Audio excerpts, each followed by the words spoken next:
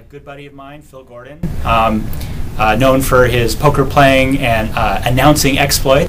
And I decided to go on a round the country trip in an RV watching sporting events.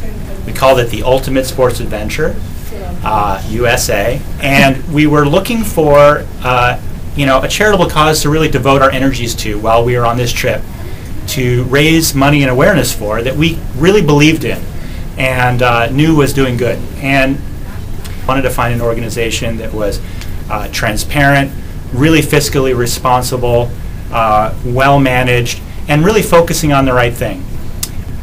One of the great things about Prevent Cancer Foundation and the, the Bad Beat on Cancer initiative, where we ask our fellow poker players, professionals, and amateurs alike to pledge 1%, just 1% of their potential winnings to the Prevent Cancer Foundation. And we've, uh, we've seen an incredible amount of support from people not only wanting to jump on board and make a pledge, but also help organize events that we never would have thought of. Uh, that's been really, uh, really gratifying. Today, uh, I think everybody is really seeing, you know, the the truth of what Bo saw back then when nobody else was talking about it. That an ounce of prevention really is worth a pound of cure.